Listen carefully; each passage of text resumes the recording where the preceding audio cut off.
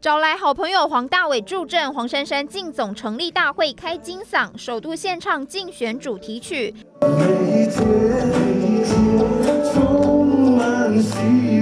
台北市长柯文哲接下荣誉主委一职，破除外界对两人的切割疑虑。我们有一些政策都是一起拟定的。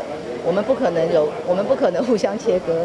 我们在市府现有的基础之上，来提出更好的方法。没有什么包袱不包袱的，就是好的东西会继续留下来。市政要去无存菁，进总团队也要破除蓝绿。延揽曾加入实力的前台北市政顾问翟本桥担任策略长，更拔庄国民党籍前内政部长李鸿源出任政策总顾问。老东家亲民党也现身力挺。他跟科比我不太清楚。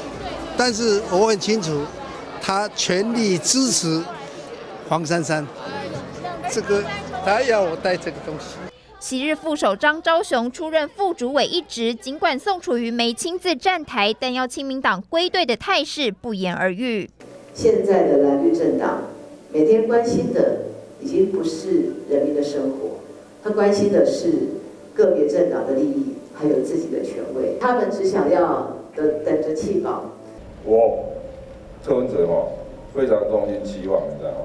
十二月二十五号，我能够把我的市长职务交给黄珊珊，让她继续带领这个柯文哲登高一呼，要让黄珊珊如愿接班。